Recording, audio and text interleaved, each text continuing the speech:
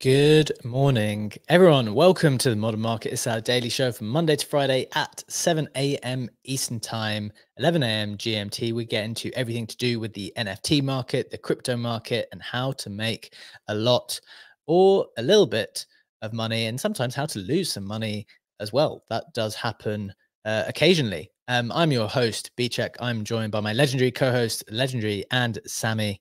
And we're going to get into everything that's been going on in the past 24 hours. Some pretty big debate going on on the timeline about the $62 million hack. And we're going to get into that as well as get you up to speed with everything else that's happening so you don't miss out on anything. But just a reminder before we do that, nothing that we say here is financial advice because the space is incredibly risky and we do not know anything for sure. So please do proceed with caution and exercise your own judgment. No better time to reiterate that message, especially with the activity from the past 24 hours. Nevertheless, let's get into it. Legendary, it is Wednesday, the 27th of March. How are you doing? How are you feeling? GM, GM. Uh, I am on day two of my juice cleanse. I know that is raising a massive, massive red flag for K Sensei. Um, but hey, it's actually pretty enjoyable given the fact that so much is going on in the space. We had the hack and everything, so I don't really get to focus on the fact that I'm not eating and only drinking my juice. So it doesn't doesn't bother me at all. Doesn't impact my mood at all. Very very excited for today's show. I do think we have a lot to reflect on what had happened um, over the last 24 hours. I mean, if you're in doubt, here is someone unaffected.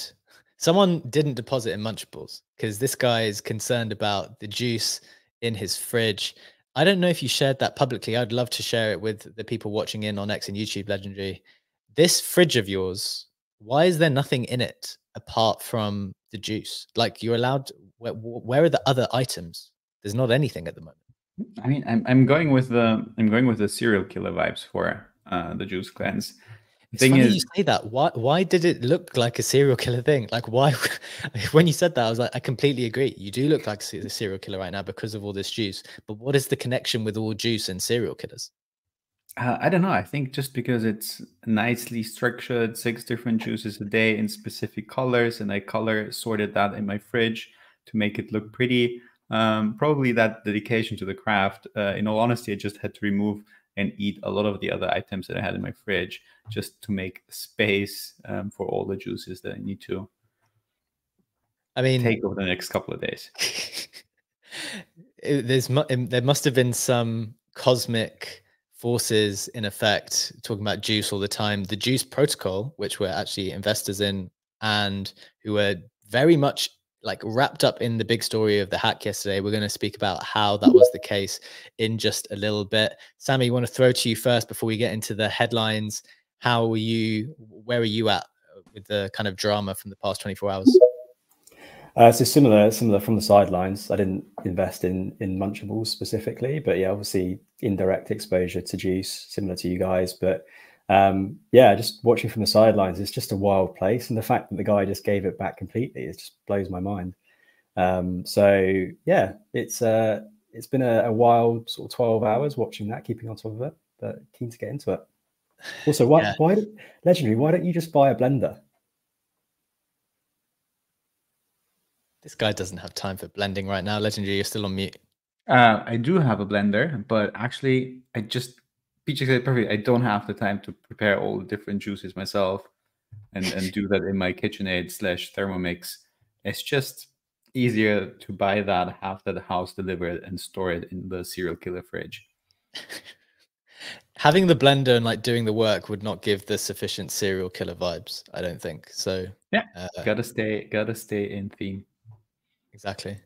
Um, okay, well, people were like we were adjacently affected in some respect. Well legendary and sammy was.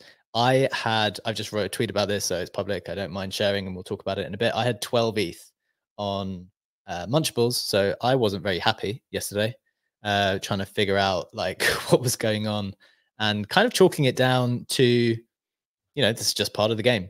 One of the things I, I tweeted was that i've never been to an expensive business school but i think i just paid my tuition um, and we're going to talk a little bit about what that tuition was uh, a little bit later going through. I think what was my first hack, because uh, I haven't yet been hacked apart from this time. So we'll reflect on all that stuff in just a little bit. Let's get into the headlines first get you up to speed with everything happening in the space from the past 24 hours. As always, this is in the snapshot, which is pinned up top.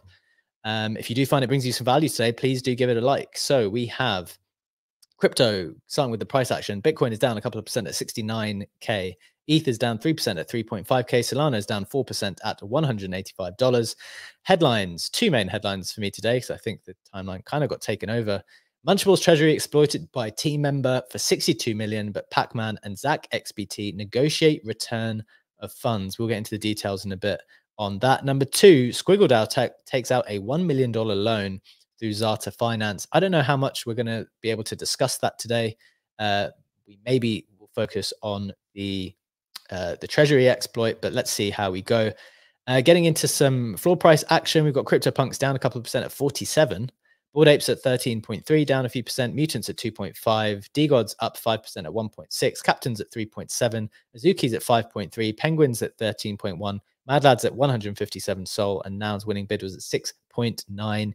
ETH, we had a CryptoPunk, a couple of, well, one CryptoPunk gold chain selling for 60 ETH. Um, the other CryptoPunks going through around that 50 ETH region. A Bored Ape Pizza selling for almost 20 ETH. Um, so there we go. That's some price action from around the scene. Legendary, before we get into the main headline on Munchables, uh, any reflections on anything catching your attention from a price action perspective? Um, to me, honestly, it's it's still mostly looking looking at the Zukis, seeing that they have maintained the little pump or the more significant pump that they had over the last seven days. Um, this is quite a quite a good sign that I saw also across a couple of different other collections, where that's um, uh, revolving games with the Nexian gems and the Skyborn heroes, as well as the RG bytes and some other gaming collections being up nicely over the last couple of days seems like a bit more life is flowing back into the NFT market overall, and especially also into the gaming narrative. Yeah, interesting. One reflection I have, legendary, and maybe this is kind of a little bit of a peek behind the scenes of things. Maybe it's just indicative of who we are and the kind of connections we have. But like a lot of the deal flow that we see is like hyper focused on gaming. Like, do you think that's because why do you think that is? Is that just because of the type of people we know now, the type of people you're like predominantly talking with, or do you think it's just this is the main like the the kind of sector which is just on fire, and therefore there's more stuff there? Like, do you have any reflections on that at the moment? Hmm, I think there's three reasons for that. I mean, obviously, I am within the gaming bubble for sure. Yes. So I definitely have a network built within there. Um, reason number two, gaming is still a big, big trend. So a lot of the deal flow is going into gaming per se. A lot of what Animoca Brands does is going into gaming. And the third reason is because it is such a trend, you see gaming adjacent investments, whether that's mm-hmm. like infrastructure, DePIN, AI, that also try to kind of frame a gaming narrative within whatever they're doing, even if it's just infrastructure, not just even if it's infrastructure they're building they try to frame a narrative that is specific for gaming. It's solving the problems that gaming has because it wants to nurture on, on, on that narrative. So I do think that all those reasons combined um, create that strong bias towards the intensity of gaming related deals that we're seeing. Yeah, I think I think that's fair. One of my reflections as well, looking at this stuff, is it's funny how many of these buzzwords people are trying to fit in to their to their company. Like I've seen multi I've seen multiple things now where it's like some type of AI gaming DePIN infrastructure play, um, which is built on Solana. That's that's the one you're missing. AI gaming DePIN infrastructure play built on Solana with restaking on Eigenlayer. Like, uh, um, interesting stuff. A little bit of a peek behind the scenes there of like some of the narratives and deal flow that we're seeing. Uh, Sammy, anything catching your eye before we get into this munchable stuff?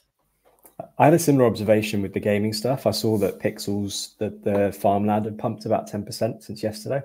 Um, guilds, I think, are now live. So, and the Pixel token's also been, it's dropped off a little bit, but it's up about 50% since launch. So that's being sunk into pets and uh, the price to enter these guilds. So it's just interesting to see that play out. But also, uh, Mochaverse up 5%. So that could be probably linked to the token that's kind of coming up fairly soon. Um, but yeah, gaming seems to be the play, and I think DePIN. So there's that one called Gaming that went live yesterday. Mm. I don't know if that's just a play on the gaming word, but I don't know how to pronounce it. But that does seem to be that, that kind of thing. So it's interesting to see. Yeah, I got to say I missed that. I did not know that it was a DePIN play. I thought they were just a gaming play. Um, I didn't fully understand the extent of their their business. I guess uh, so. I kind of missed that one. Um, definitely a trend there, though. Like a lot of this stuff is coming to market either next month or the month after or the month after. Like seeing so many tokens coming to market. I'm kind of interested, just as a side question before we get into it, Legendary like is the is the market bullish enough on all of this stuff to absorb all of these tokens coming in April, May, June? Because that's when they're coming. And like, are we ready for it? I don't think so. No, I don't think so. I think um, you also see a lot of founders trying to to rush their token and yes. get the gaming token, etc., out sooner yeah. than they expected to do it initially, or yeah. upgrade their game to a layer two to a bigger ecosystem that they would love to build but might not have built out yet. So I think that all is a result of the pressure of all those um, simultaneous TGEs that will happen over the next couple of months because I definitely don't think there is enough interest in the market. Just see how attention is flowing from, you know, from from base to blast, from Sofamon, the Telegram stickers that were trending yesterday, to um, other games, we are not in the not at a stage where this space is talking about like three to four games at the same time or three to four plays at the same time. It's like very mono um, thematic. And if you look at that from the gaming side of things, and I probably know like 20 plus gaming tokens that will come out over the next three months, I definitely don't see enough interest in all of them. Yeah, interesting point. I think it's definitely something to keep on top of. I've sensed that they might they're kind of in a race with each other now. Um, they're kind of in a race with each other to be out ahead of other people to try to at least capture the attention before the huge influx of everything happening at the same time. That's not to say that the quality won't still exist and the quality things will still be there and rise in value. So I do think that there are quality plays to make, both I guess on the NFT side for the for the people that have NFT projects that are are good, but also from the investment side when you're getting in at I don't know 40 million FDV or 50 million FDV, and these things are going to be much higher if they are one of the best better teams. Um, okay, very interesting stuff. Let's leave that there. I'm happy to have brought that to people's attention. Let's get into the main headline then, which is um, all to do with the Munchables hack um, we were all like in, involved in in different spheres. Would love to bring NFT stats into this conversation as well at some point because I know he was tweeting about it too. So I'm going to share it on screen to kind of take you through the journey as I experienced it on the timeline yesterday to get you up to speed with how it kind of played out. Um, and then we want to open this up to a bigger discussion because there is a bigger discussion to be had on the role of decentralization, what to do when something illegal like this happens. So here we go. So starting with the moment it happened about 13 hours ago, Munchables tweeted that Munchables has been compromised. We're tracking the movement, attempting to stop the transactions. We will update as soon as we know more. Zach XBT replied saying that 17.4K of ETH had been taken by the exploiter address. That's $62.5 million. Um, and it transpired that it was, it might sound ridiculous, a North Korean dev was hired. And I don't know if that literally means a North Korean dev was hired or whether the North Korean has just become a meme for an anonymous person that we don't know. But this is what Zach said. And he did manage to share the uh, identity, or at least the anonymous identity of the hacker. It was a person called Werewolves 0493. So basically, it appeared that the team had outsourced the developer work and given it to this person who uh, they obviously could not trust in the end.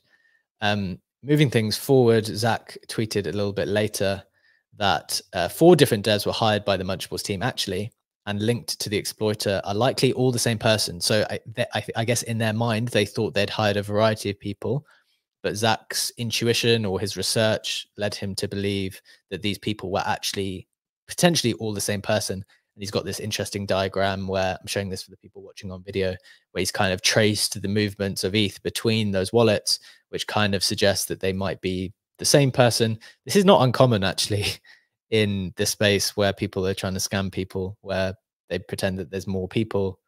Um, and he provides a couple of other accounts that they thought that he thought were involved. Moving it on to kind of what could be done, Saigar, one of the top devs and technical people in the space, explained that the Blast team could technically recover the 62 million lost in the Munchables exploit since they control the bridge contract that holds the bridged uh, ETH and stETH. Um, he went on to say it wouldn't set a good precedent for future exploits and issues, but it is possible. An invalid state root would need to be forced by the blast team, which would erase the hacked transaction. The chain might need to halt completely to do this. Saigar went on to say, I don't think any rollup has done something like this on mainnet yet, but the bridge contracts are upgradable. The upgradability was mostly for any bugs related to fault valid, validity proving, but a catastrophic exploit might be reasonable enough. Not a decision for me to make, though.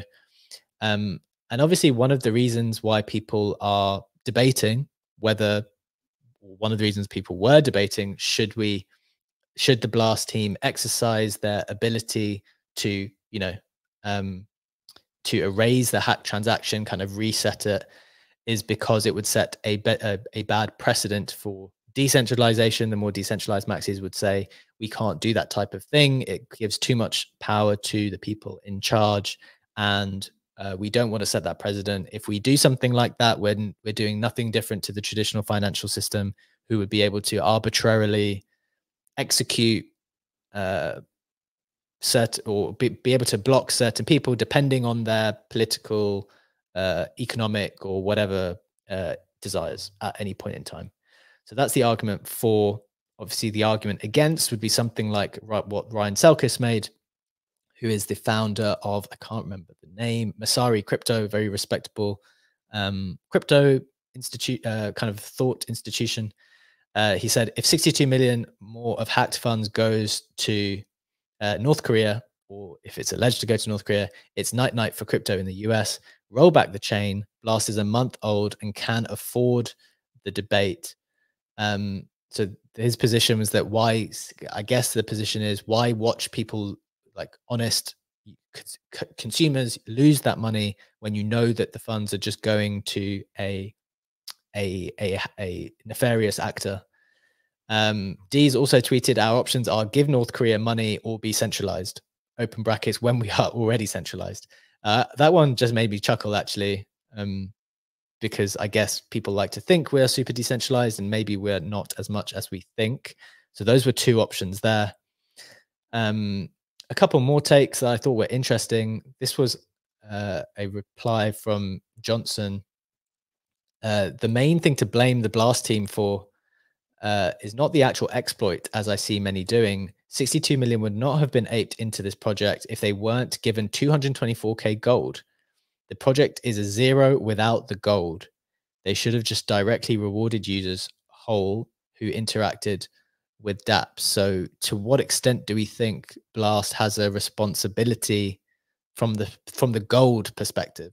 Like when they're going to say this, these protocols are going to get X amount of gold. Should they be taking a little bit of a look there? Um, I think maybe the final thing that I think is helpful, and then I'll get into my takes. But want to open it up to the stage first. Is uh, quit said this thing, which is pretty scary, to be honest. The Munchables exploit has been planned since deployment.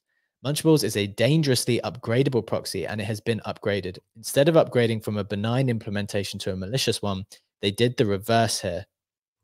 So basically, what happened is uh, the lock contract started off with an implementation with one implementation address and the contract was unverified. Shortly thereafter, it was upgraded to a new implementation but before upgrading, the attacker was able to assign himself a deposited balance of 1 million Ether. Uh, if you never knew about the original implementation, the contract would look just fine. Another reason why upgradability should be discouraged, even if the dev had transferred ownership back to the team, the damage was done.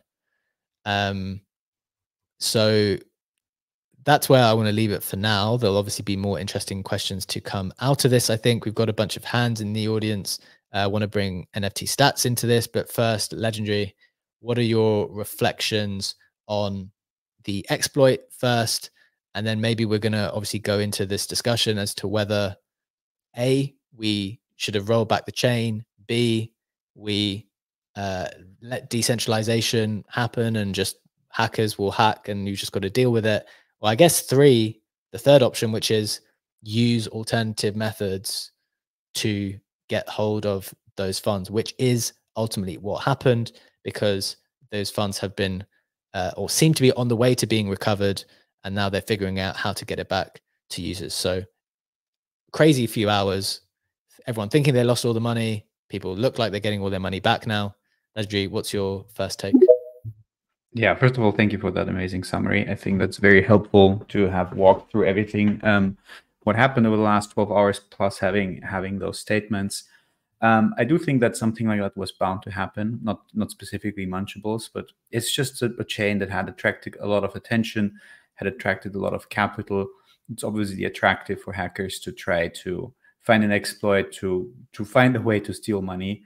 I do think that that argument by the the Messari person or founder, I can't remember his name, is a very stupid argument. If I can be quite blunt about that, um, there is a um, UN Security Council panel that has been investigating crypto hacks since 2017, and they account more than three billion US dollars that have been specifically hacked from North Korean devs or from North Korea. So that is um, a lot more than those 60 mil. And it's not night night for crypto in the US. That had happened before.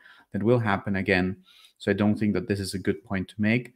Um, similarly, I feel also strongly about that comment that it is Blast's fault because of gold, and people were doing that because of gold. I think gold is just an analogy for us degens trying to farm something that promises a return. In this case, it's Blast gold points that turn into Blast points that hopefully turn into money at some point.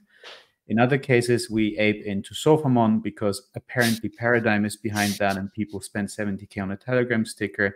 Um, we will always ape into things quickly when we see an opportunity presenting itself and the timeline rallies around that. Um, and it's always a financial expectation. You always think, ooh, that's an amazing way to farm Blast Gold. That's an amazing way to get a token by a protocol that's backed by Paradigm. And just putting the name on Blast because they have Blast Gold as an incentive is a very, very uh, simplistic take. So I definitely do disagree with that. I have quite a lot of thoughts on um, halting the chain versus um, versus continue doing business as usual, etc. But I do think um, that I will provide those a little bit later on in the discussion because otherwise it gets just too much for one single take. Okay, I, I agree with you that because there's various things to discuss at this first point. Um, Sammy, let's go to you first, then we'll go to NFT stats, then Jack, Kusho, and Tiro. Sammy, what are your thoughts first? Like headline reflections coming out of yesterday?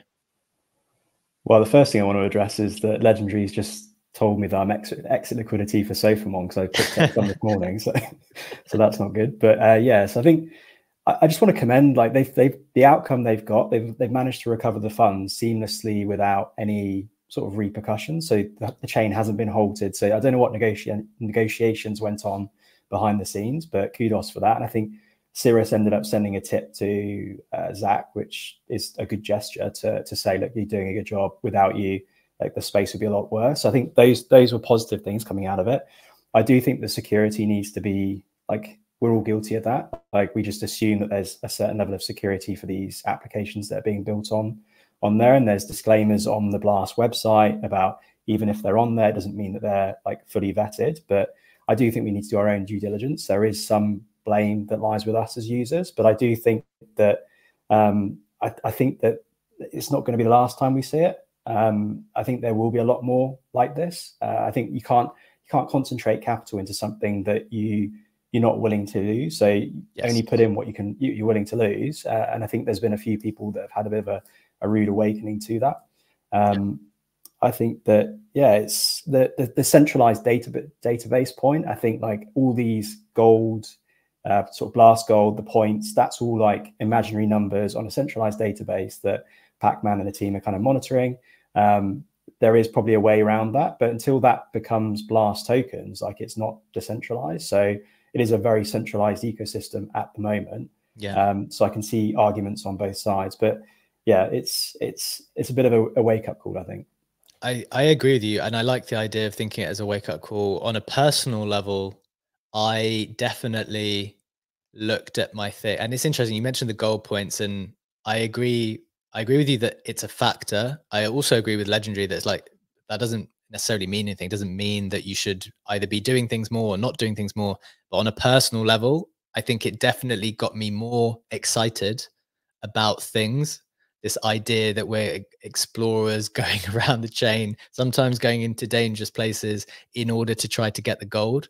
And when I look, reviewed my portfolio yesterday evening, or the extent to which I'd like put different things in different places in Blast, I did conclude, okay, I, like I'm generally pretty good at managing the risk and making sure it's not too much in different places. I'm always pretty happy with how I go about things. But I did look at it and be like, okay, I think there's a little bit too much in some protocols that I didn't think I knew enough about. So uh, I did like amend certain things. Uh, but in general, I, I think agree with you. Very good wake up just to be like, look, guys, keep going into this stuff with your eyes open. Um, so I think it's reasonable from that perspective. Um, would love to bring before we get into like specific issues, we'd love to give NFT stats Sam the opportunity just to give some headline impressions. Any take it in any direction you want, Sam. Welcome to the stage, my friend. What are your thoughts What's and reflections up, on this at the moment?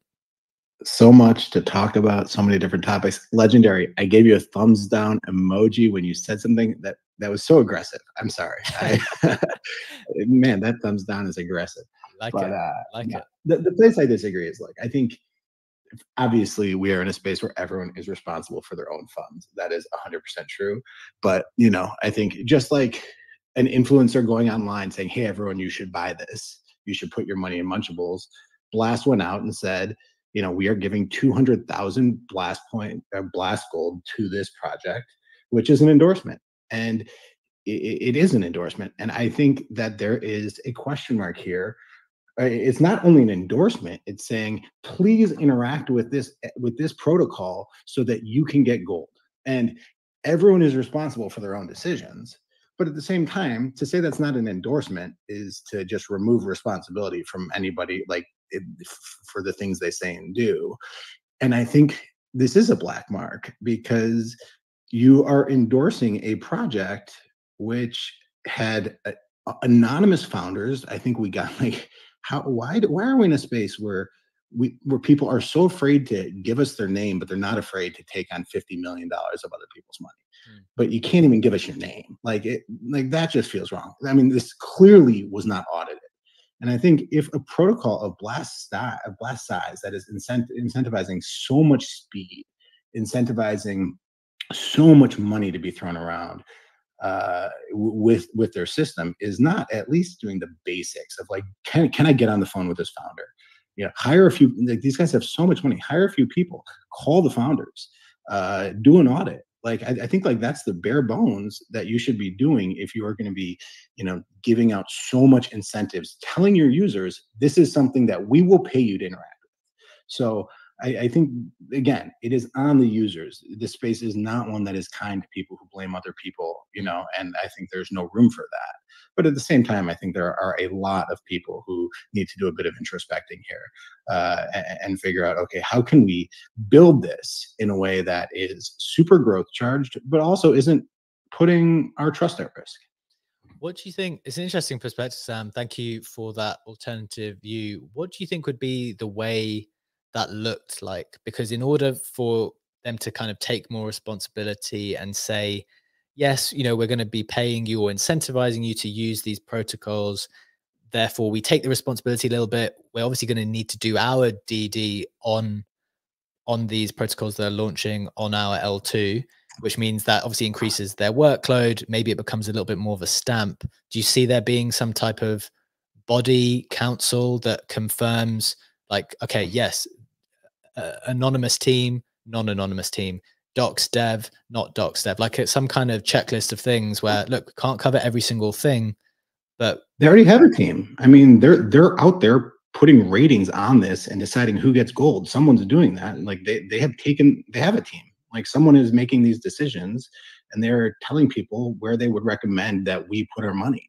Yeah, so there is a team doing that. I don't know who it is, but it, I mean, this is going to be a ten billion dollar token. Like, start acting like one.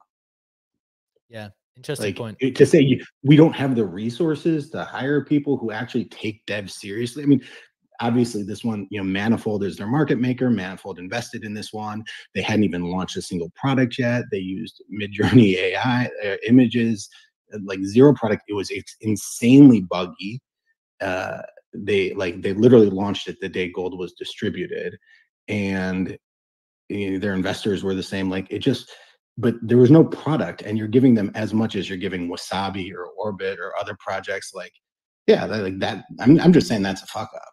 And uh, you know it, and there's a lot of blame to go around here but i think that i mean clearly the team has redeemed themselves and like this was a, a incredible outcome that that that pac-man was able to to to pull off here. But to say that there's no response. But i think some like i think people are so into blaming users for their own mistakes that you sometimes don't say okay well that was also a fuck up by that. Like again you like i think that i just think that, that that's something that just like i personally feel responsible if i tweet about something that goes wrong. Like i personally am like fuck i just let my users down. That hurt my reputation. How can they gave this app a six out of six score on their one out of six ranking for how good an app is like yeah yeah that, that's an issue yeah i think that's very very fair points i want to come to uh, legendary to have a chance to kind of uh, respond to that. Then we want to work our way around uh, the house and maybe push on to think about the the ultimate solution as well. Legendary first. Absolutely, yeah. No, I didn't. I didn't blame users at all. I mean, obviously, I think blaming users is stupid.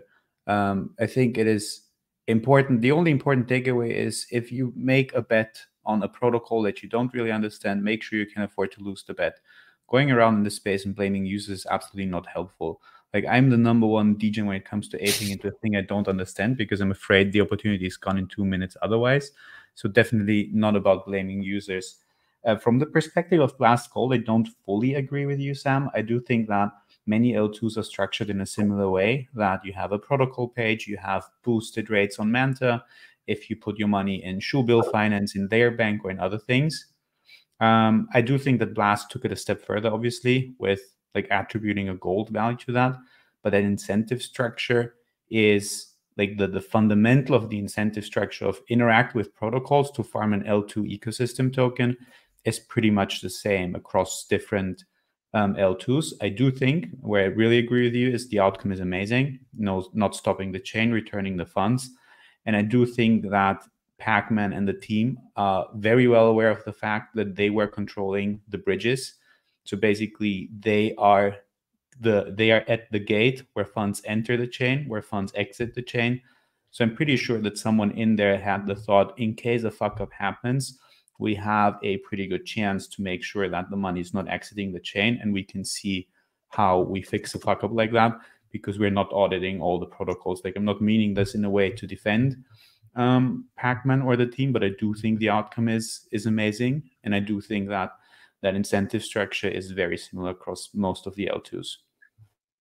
You also take it further than I did. I was I was saying it's users' fault. Like I think I think and I think every user uh, who was part of this will take blame for, for it as well. Like I think it is partially users' fault. But again, if if you if you're out there giving a DAPS score and saying we will specifically give out a ton of money for interacting with this specific app, hmm. that's what happened here. They said we will give you a ton of money for this specific one more than if you interact with other ones, then yes, that is a black mark. Yeah, the, I'm I'm thinking about it from the legal perspective, where I appreciate I, I take all of those points, and there is this kind of gold incentive, although it's never. I mean, the, the word you used, Sam, was an endorsement, and I guess I, I guess six out of six score isn't an endorsement. I, look, I, saying we will give you more money for interacting with this app than other apps. Look, I'm not talking legal talk. I'm yeah. not talking legal talk. Yeah. I'm just saying. I'm not saying they're legally responsible. I'm just saying like I'm not legally responsible for having tweeted I just bought these Munchables. Sure, sure, sure. But that's bad for my reputation, and I own that. Yeah, agree. And, and I guess maybe we'll never be able to get the full ownership of it because of I guess the only reason I'm linking it to legal stuff is because I think I agree with you. It's bad for the reputation, bad for the things to um, be endorsing in that particular way. But we'll never get that communication in writing from the protocol for, because of the legal perspective. Uh, which oh, of course, of course, and I'm not making a legal case here. Sure. I'm just none of us are talking about legal stuff. We're just talking about like, hey, like who's in the right, who's in the wrong here. Like, yeah. Uh, there's, there's one issue. Sorry, I want to jump in on this real quick. There's one issue with that kind of thinking is because I also saw other takes saying Juice is to blame because Juice opened a vault for 5,000 ETH and they should have done the due diligence because if I put my money in a vault that has such a big number with so many zeros, someone has certainly done the audit, then Juice can say, but Blast is to blame because they did the gold point distribution and at the end of the day, everyone's like pushing blame away from themselves because nobody wants to do due diligence themselves. And like from a user perspective, I mean, of course, fundamentally you're right. Users are to blame, but I don't want to run around and blame users for that. But if if that the default mindset is I invest in a protocol because Paradigm backed it, or because Juice has 200 mil TVL, and if they have a 5K vault for Munchable, someone surely has done the audit then you will never really start thinking for yourself and assessing risks. And I'm not saying go out there as a user and do a smart contract audit because quite frankly nobody almost nobody has the skills to do that but at least think about that the risk that you're taking and the bet size that you're making with such a bet but don't assume just because there's a big number and a big name attached to a protocol that someone has done due diligence or audit just because you didn't do it and give yourself like a false sense of security yeah. I'm not saying, I mean, this is a massive blunder for Juice. Like, Juice is out there the, for any curator. This is a blunder. Like, Juice is, Juice was out there saying 5,000 ETH, let's do 7,500 ETH. Yeah, that's bad for them. And it's also was a mistake for the people who put their money in. Like this, this is like, it is not like a thing where it's like i'm not to blame because juice is to blame no use I, my first thing is that this is an industry where if you want to blame other people you, you should leave because ultimately it's your money. That's 100% true. But juice was out there putting more and more ETH in and what that shows me what that shows me is that juice doesn't do due diligence so I don't trust Juice anymore. Like Juice, like I saw them as a curator in the past. I was like, okay, I can trust Juice because they're going to do some due diligence. And now I just know that's not true. Hmm. Like, so that's just true. That doesn't mean that I'm not to blame. It just means like, okay, like these guys' word is a lot less valuable than I think it's in their business interest for their word to be. Like that is true. And it's also true that people who decided to put money in this made a big mistake. All those things are true at the same time. Yeah, I think I think what we're coming to the conclusion is that there's a lot of blame across the board here, and not a lot of people necessarily. It's not blame; it's reputational damage. Yeah, it's not blame. It is us all realizing that other people don't know what they're talking about. Like it's just more of that. It is not blame. It is saying, okay, these are just not guys we should trust because they don't do their due diligence. They seek fees before they seek before they decide to do a docs conversation and do an audit. Okay, that's good to know for the next one. Yeah, important to take uh, that information on board. Um, we want to keep it moving. Let's go to. I think we said we were going to go to Jack first here. Jack, uh, what are your thoughts on uh, on the hack and the kind of uh, activity after? Firstly, I just love what this show provides because I think both Sam, Legendary, uh, everyone has just given such such a clear take on you know basically we're on the same page, but there's still such wide variety of that page. It's it's kind of wild. Um, but look, I, I think for me, this was something I've shared on other shows before. That one thing we definitely need to learn from all of this is the fact that the um, the danger or the risk to what you are investing in does not solely lie with the token itself going to zero naturally. Like, you know, it doesn't solely lie to, oh, this thing has a yield that can't possibly, you know, retain. And, you know, I'm doing the math of X and therefore as long as within 15 or 16 days as long as i have that yield then i will make my money back whatever that math is you really need to take the auditing and like the security risk on board when you're putting your you know hard earned eth at risk. And look, this this is not new. Like literally this time probably last year almost like al- almost to the day Um, there was a like sort of a, a, a play on DeFi world again. Like NFTs have slowed down a little bit, and um, I was looking at like DeFi for probably the first time. I was so heavily into NFTs before that, and I started following this YouTuber who just like he was a teacher prior to this, and he was talking about all these protocols, and he's going really, really heavy on this protocol. But in one of the videos, he just mentioned that the biggest risk could actually be a security risk. Um, and I think it was like six days you would need to get your yield back. It was like incredible yield.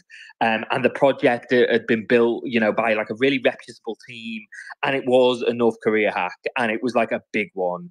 And he basically just ghosted like this this youtuber this influencer just lost all his credibility even though he was very clear about the dangers i was so close to putting a ton of eth into this thing for the first time Fortunately, I just procrastinated, but I would have lost a ton because that one didn't get back.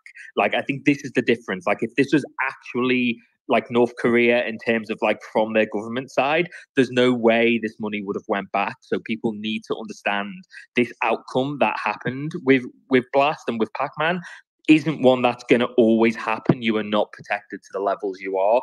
Um, and then, like, final point from me is I like I understand the rollback, uh, you know, the the questions on this. I understand the requests for like more auditing from that team. They are, you know, a top tier team who have been injected with a ton of liquidity. So, you know, all this like first mover advantage, and you know, you do have to act quick in this space, and that does give you an opportunity to, you know, hit a risk like what we've seen today.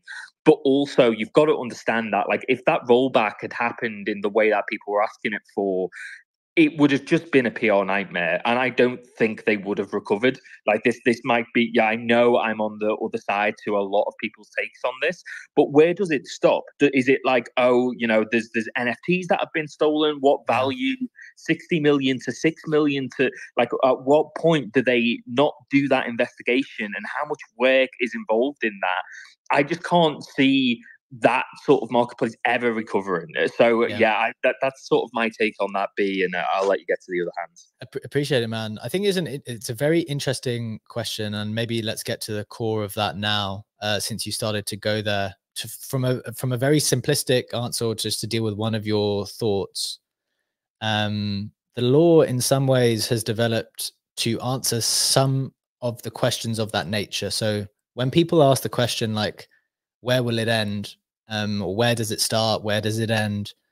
The reality is in the real in, in the way the law develops is that that people come up with an arbitrary number and they and they they use the word reasonable quite a lot. So in a lot of legislation there'll be things like um you know any any company that is bigger than a hundred million dollars turnover or something it's just a completely random example but like when it comes to like trying to regulate particular types of companies for maybe um, anti-competitive practice or something like you know you and you might say oh where does it start? Where does it end? And in the end the way that people have to make a call is they have to pick a number. Like they'll look at all the data and they'll have to pick a number. And it's unfortunate if you know say you got hacked and it was under that number and you're like oh but what about the people who are 5 million above and now their funds are safe but mine aren't it's kind of like in the UK, even for banks. I think you're in, in a in a bank, your funds are insured or guaranteed by the government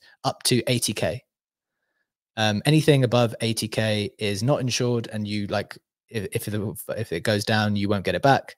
Um, but you know, where did that number come from? I don't know. They've obviously done some research about like how much money people have in banks, and they kind of picked that number. So it's one of these things where in the end, if you want to get to a, a decision, like, yes, you're going to have to have a group of people, you're going to have to do the research, you're going to have to come up with numbers, and loads of people are going to disagree with you. And that's ultimately the real, real challenge of law and governance. Um, and I guess we're in a space at the moment where we're, we, we haven't necessarily had those conversations and we don't know the answers to those questions. So that's what we're kind of just talking about at the moment. I've got some more thoughts on it in a second. Uh, but I know we've got a few more opinions to hear, so I want to hear them first. But conscious, we've only got 10 or so minutes left. We might run a little bit over today. Let's see how we go. Kusho, we said we were going to come to you next. Welcome to the stage, my friend. Uh, what are your thoughts on the? Let's take it to the conversation of the outcome. The outcome was that they did manage to negotiate. Uh, they did manage to get in touch with the hacker. They managed to get that commitment to send the funds back. I believe it's already been sent, uh, but someone can confirm on that. It seems to be all solved. Do you think that was the best outcome? What did you think with the alternative options?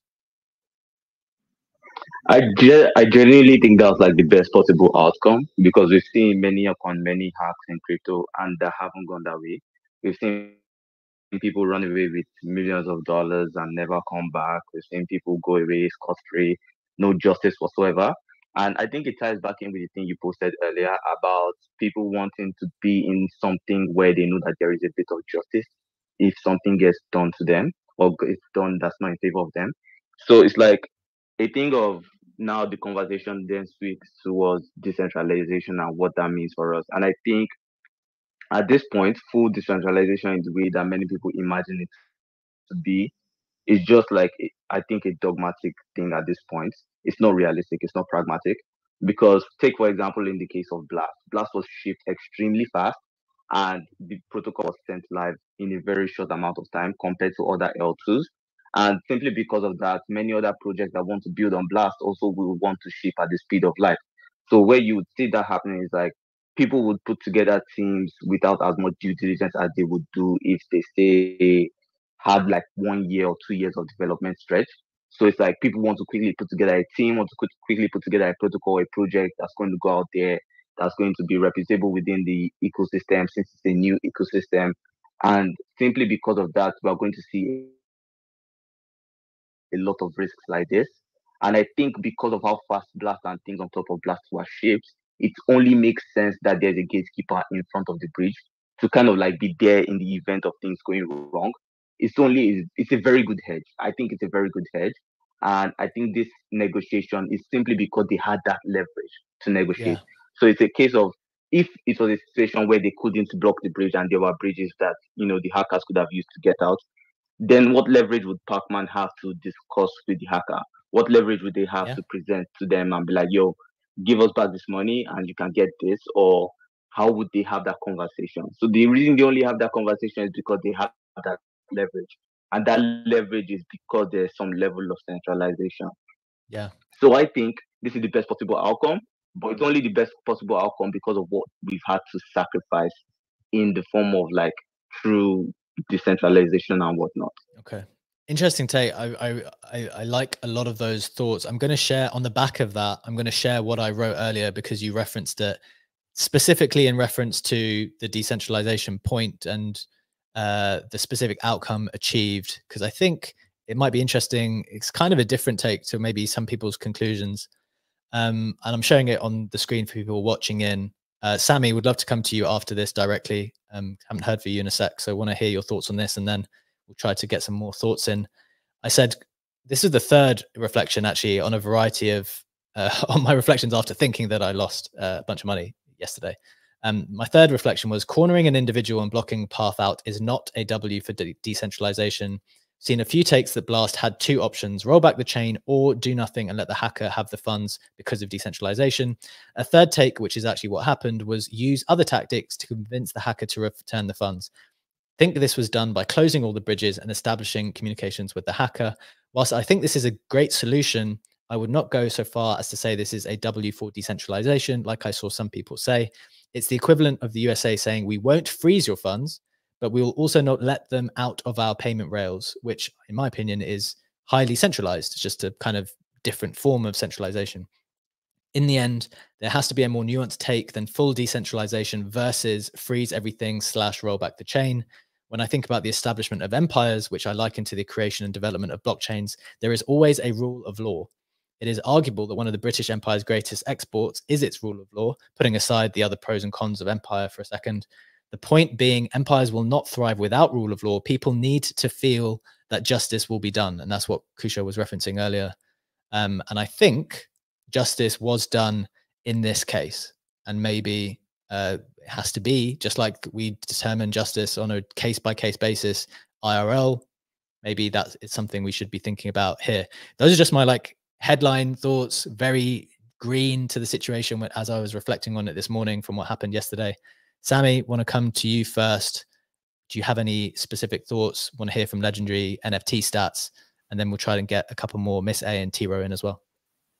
Yeah, I, th- I, think we we also need to look at the look in the context of the maturity of the chain because I think ultimately when you first start out, you need to it probably needs to be more centralized to get it off the ground before you fully decentralize it.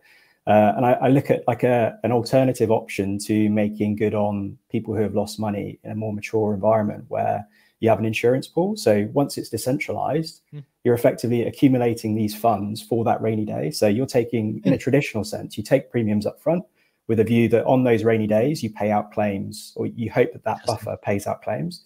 So there are insurance, decentralized insurance pools that set that up. So they'll, they'll probably take, and I know Blast do have this because on the bank Bankless podcast that uh, went live yesterday, Pac-Man discussed this before the oh. hack, oh. which was quite ironic. But interesting. Um, the, the the concept just it makes sense in terms of if if there are um, incidents that happen on the chain that people make a loss on, then those victims or, or people who have made that loss can make a claim for that fund to then be paid out. So it would be done in a decentralized, uh, self like governance way. Um, but that is another option. And the insurance market within like the decentralized space is actually becoming a lot more mature. Um, yeah. I remember speaking to people at this conference, so DAS conference in London about two years ago, and they already had them set up then. So you can imagine in two years that's going to become a lot more mature. They'll they'll integrate that into a, a mature ecosystem more so than than a young e- ecosystem. Because I think the issue with Blast at the moment is they wouldn't have built up enough of that premium to then cover the claims because it's only been around for a, month or whatever. But if you have something that's been around for two, three years, and they're taking a cut of those fees that are being put on the chain every day for two years, three years, that can build up a period of time. Then all of a sudden you've got this buffer that yeah. when you do have these black swan events, they can pay this out. So I think we're not there yet, but I think in two, three years, you're going to have a chain that's going to be relatively mature, that's going to have that more decentralized feel to and by relatively I, I, lo- I love that idea. It's kind of taking the conversation in a different direction but insurance is obviously a huge part of the way the normal economy works largely absent from everything that we do. And maybe when you speak about the maturation of this side of things what that means is like a fully insured chain. Like who knows how, who knows what that would cost? I don't know what the cost of that would be what the implications of that would be fully but very very interesting to think about it from that perspective uh, so thanks for that contribution, Sammy. Legendary, want to come to you, want to hear from NFT stats also. I think we'll run a few minutes over today. We've got more than 200 people live with us. I think this is a very interesting conversation to have out for a few more minutes. Legendary first, uh, any reflections on my post? Uh, do people feel like justice needs to be done? And was it done in this case? Um, agree with a lot of parts in your post. I do agree with the the the export um, of the law in the case of the British Empire and the feeling of justice needing to be done. Definitely agree with that. Also, on the thoughts on on centralization versus decentralization. I'm someone who loves decentralization a lot, but I also uh, am realistic enough to admit that it often can't really work out, especially if you have proof of stake as an underlying consensus mechanism where you just basically open consensus up to the people who are able to pull the most wealth into a chain. And if you just look at how the global wealth is distributed, and I don't want to make this a philosophical discussion, but just the top 10% own 75% of the net worth or of the net assets in the world.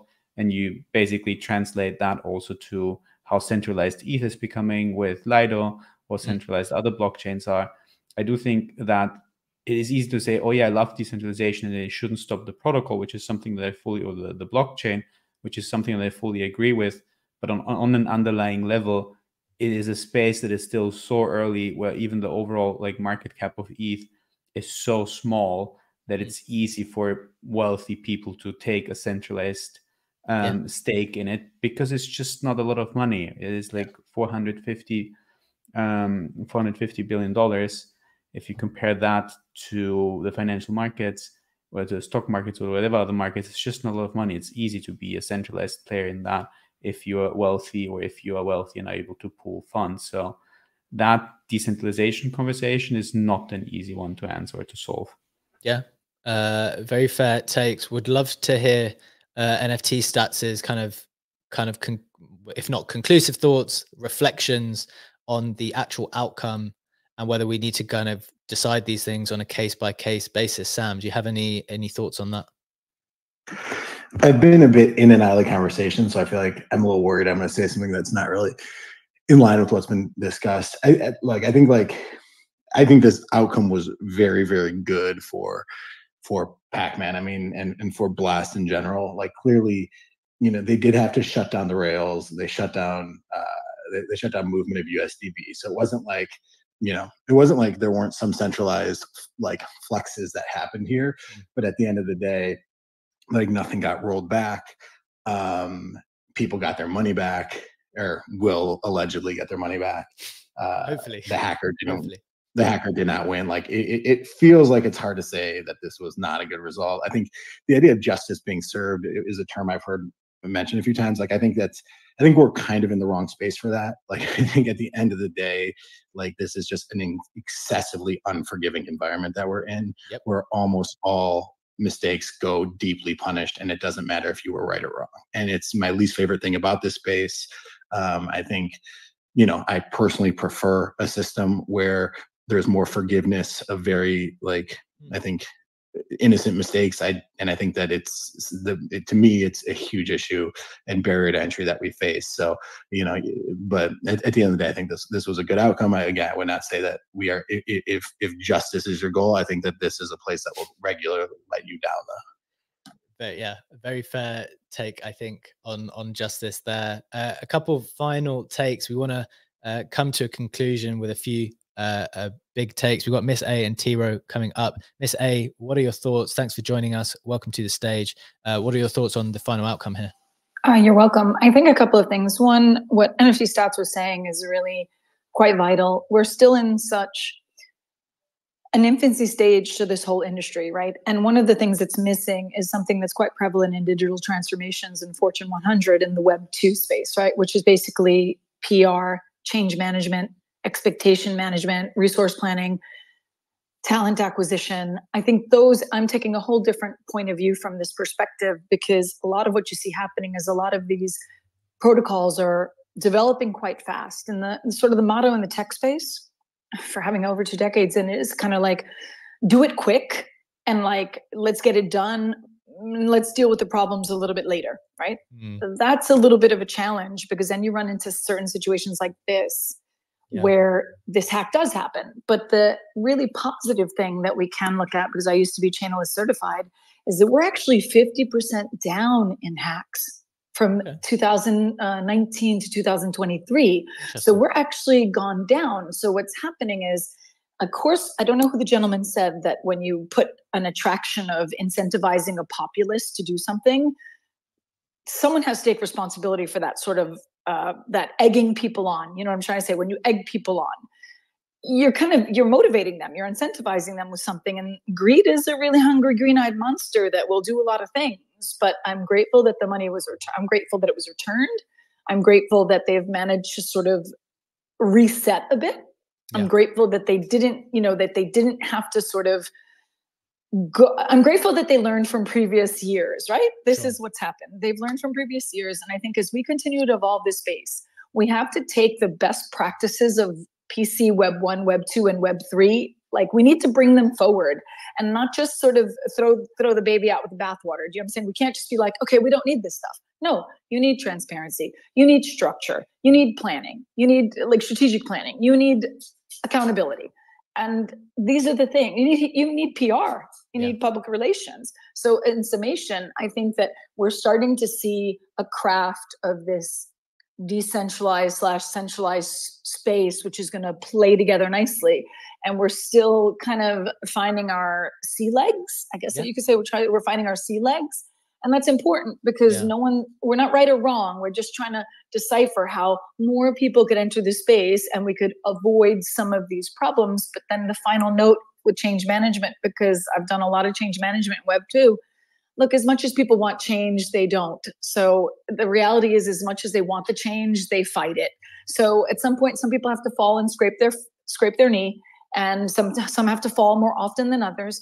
And you know, it's just par for the course in the space that we're dealing with. Yeah, and this is just where we're going to go. Yeah, I love it. I, I really appreciate the statistic that we are down significantly on the number of hacks because I think that's it's very helpful to know that because I think as NFT stats was saying, like this feels like such an unforgiving space, and it definitely is.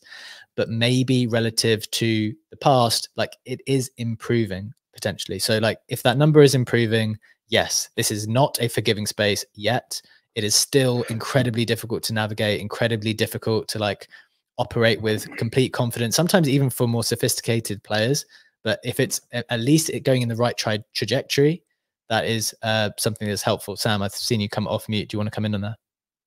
Yeah, I would just love to. I'll, I'll DM you, Miss Abe. I would love to see that data. Like I've, I've, part of my view has always been that there's more financial incentive to hack than there is to prevent them. So this problem I have seen in my experience feels like it's getting worse, not better, or at least staying the same. So I'd be very curious. Like I find a lot of the macro data around kind of legality and hacks. Yeah, um, Um, not I'll pop the super link. trustworthy in this space. It just I'll pop the link. it on just the- doesn't feel as buttoned up as yeah. I think it wants itself to come across as. please do share the link, Miss A. Uh, that'd be really helpful. Um, one of the things, to your point, Sam, that I was thinking when Sammy was speaking about insurance, I was thinking even like from the incentives perspective, does that somehow make it even more uh, incentive or positive incentive for hackers because they know that they're just going to keep getting paid out by insurance people? So I think there's like all kinds of incentives to uh, consider. Did you want to come back there? Oh, maybe not. Um, If I could just jump in, check because something's very interesting about what you said about incentivizing people to hack. As a smart contract developer, baby smart contract developer for the past seven years, we are, they are white hat hackers out here, which are actually being, with bounties, we're being incentivized to do the work of looking through these myriad of smart contracts to find the 141, 42 exploits that are known on the Ethereum protocol. And that's just standard. And what what's really scary is that some of these errors that you're seeing now are quite um, with all due respect they're quite they're not that complicated errors so they're almost careless. And i think this is where if you're looking for an overrun type of error or an exploit where the lock of the contract could be opened or someone else could slip in there like what just happened with the ox uh, dev.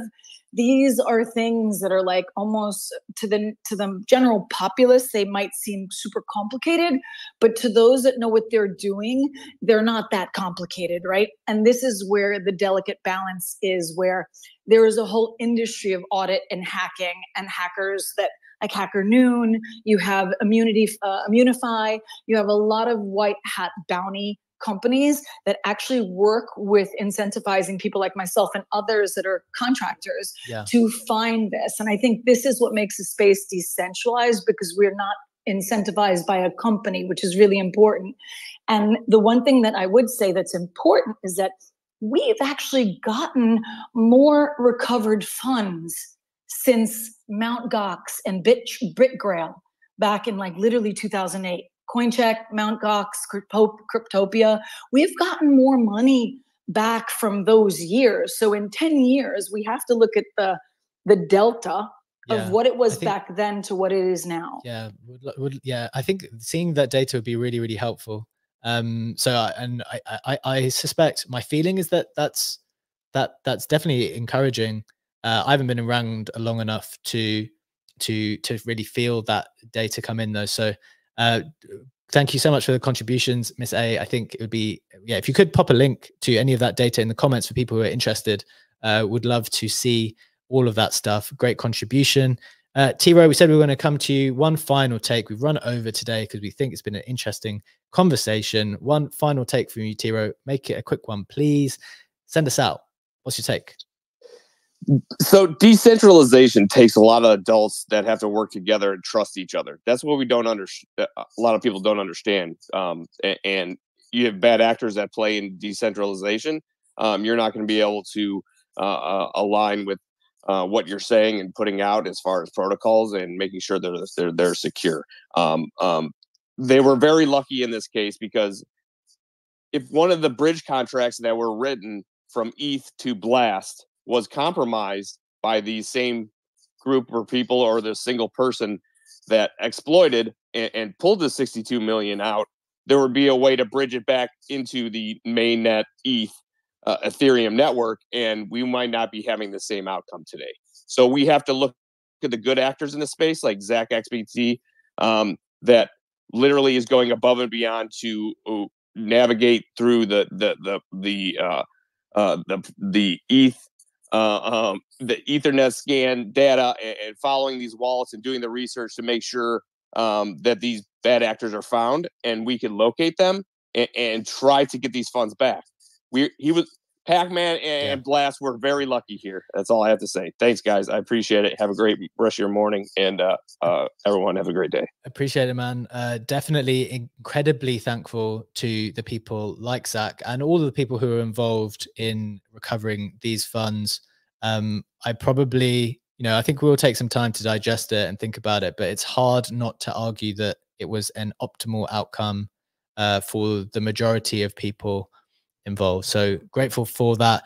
Apologies, uh, lady uh, Braids. We've got to bring the show to a close now. I've run over already. Hopefully, we can hear from you uh, in another show. But just for a reminder, everyone listening in, we had more than 200 people live today. Thank you so much for joining us. We do this every single day, Monday to Friday, 7 a.m. Eastern Time. Uh, we're live on X. We're live on YouTube. Please follow the Twitter account at Modern Market underscore. You can subscribe on YouTube too to see all of the dis- discussion take place visually, including uh, all of the tweets we have. We get bring them up on the screen if you ever want to see it like that. Um, that's the end of the show, guys. Hope you enjoyed it. Hope it was helpful. Hope it was informative. Have a wonderful day. Thank you to my co-host Legendary and Sammy. Thank you to our speakers NFT Stats, Jack, Oxy, Lady Brains, Miss A, Tiro, and anyone else. And thank you so much for joining. Have a wonderful day. Take care. We will see you tomorrow. Bye bye.